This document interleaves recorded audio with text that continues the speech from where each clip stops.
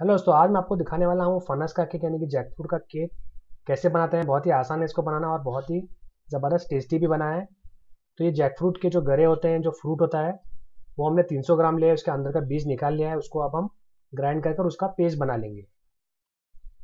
तो सबसे पहले ये हमारा स्टेप है।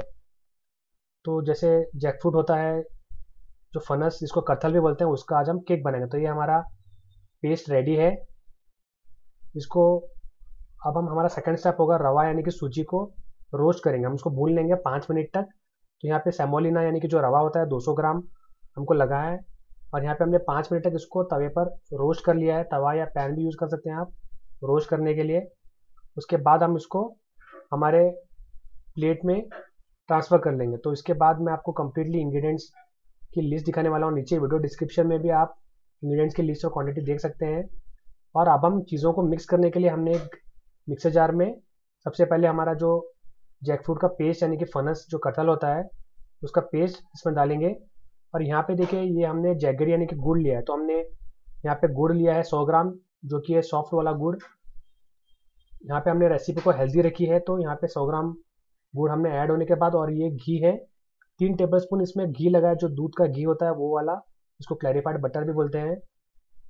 यहाँ पे हमने तीन टेबल स्पून ऐड कर दिया। तो ये हम चीज़ों को मिक्स करने के लिए इस जार को मिक्सर मिक्सर जार को यूज़ करेंगे। और थोड़ी सी हमने हल्दी ऐड की है हाफ़ टी स्पून ताकि इससे नेचुरल कलर आ जाए। इसको एक बार हम ग्राइंड कर लेंगे, चला लेंगे तो ये मिक्स हो जाएगा। उसके बाद बाकी की चीज़ें ऐड करेंगे।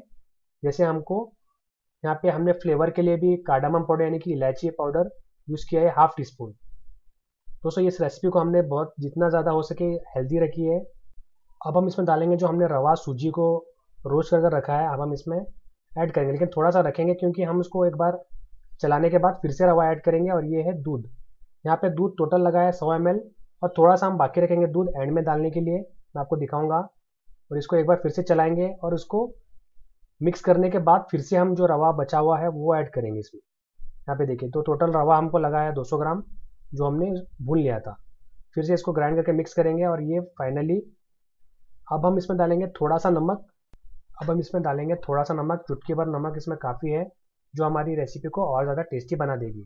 तो ये स्वीट्स की रेसिपी में ये डालना ज़रूरी होता है। तो ये, उसके बाद हमारा केक का मिक्सचर हम हमारे एक पतीले में ट्रांसफ़र कर लेंगे और हमें कुछ चॉप किए हुए ड्राई फ्रूट्स यानी कि जो कैशू नट हैं, ये सिर्फ़ कैशू नट यानी कि काजू हैं, जो हमारे अंदर के ड्राई फ्रूट्स होंगे। इसको एक बार अच्छी तरीके से मिक्स होने के बाद, ये सारे केक के मिक्सचर को हम एक घंटा अलग रख लेंगे। तो इसको ढककर हमको अलग रखना है।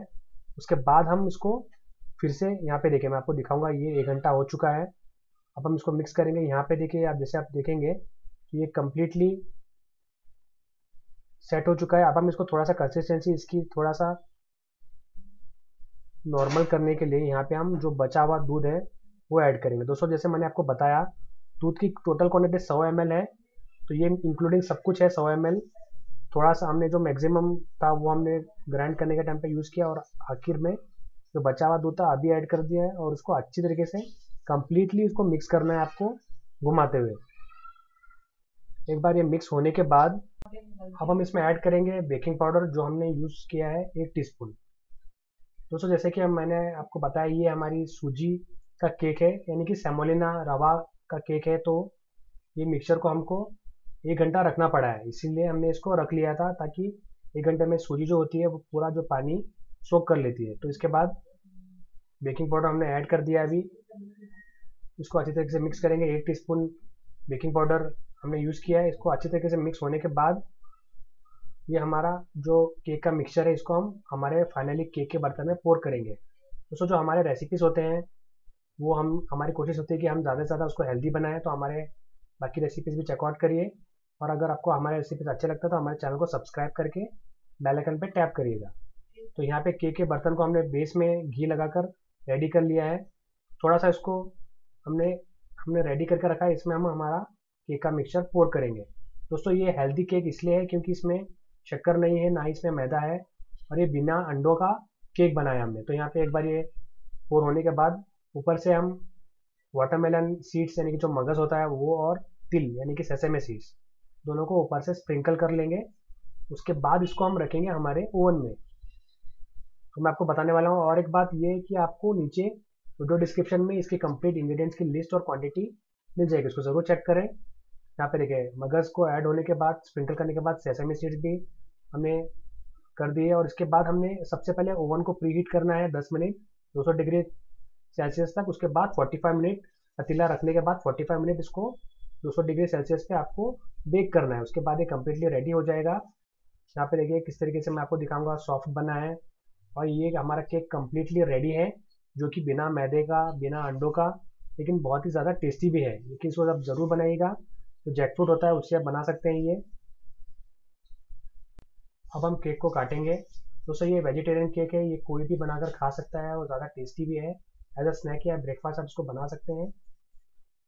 और इसी केक को आप कुकर या पतीले में भी बना सकते हैं। नीचे वीडियो डिस्क्रिप्शन में एक लिंक है, उसको ज़रूर चेकआउट करिए। यहाँ पर देखिए कितना सॉफ्ट बना है ये केक अंदर से भी मैं आपको दिखाऊँगा और ये बहुत टेस्टी भी है, मुझे यकीन है आपको ज़रूर पसंद आएगी रेसिपी यहाँ पे देखिए किस तरीके से अंदर से भी आपको दिख रहा होगा और ये सॉफ्ट भी बना है।